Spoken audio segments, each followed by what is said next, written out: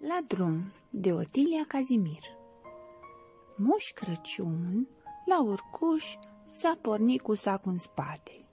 Drumul e rău și lunecuș și moșneagul nu mai poate. Lung se uită îndărăt, scuturându-și barba rară de omăt și oftează sub povară.